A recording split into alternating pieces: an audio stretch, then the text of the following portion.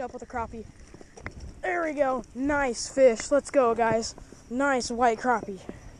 Nice white crappie. Look at that beautiful fish.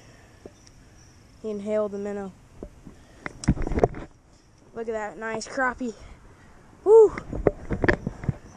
Let's get, a, let's get a nice release for him. And uh, we'll see if we can catch another one. Alright. Let's find a good place.